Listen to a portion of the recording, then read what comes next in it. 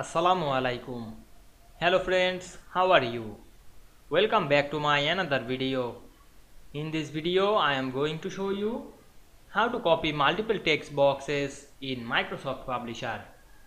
Let's get started. At first we have to open a publisher document.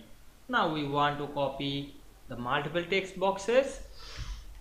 Select the first text box then press shift on our keyboard to select multiple text box. Then go to the home menu then click the copy option.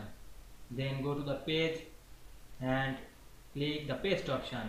Now we can see here copy and paste the multiple text boxes very easily. I hope you enjoyed the video. Please like, comment, share and subscribe my channel. Thanks for watching.